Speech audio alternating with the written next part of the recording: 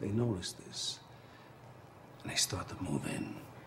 The jackals, hyenas, they're barking at him, laughing at him. They nip his toes and eat the food that's in his domain.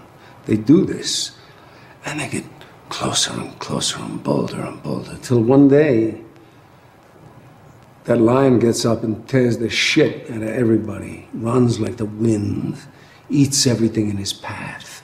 Because every once in a while, the lion has to show the jackals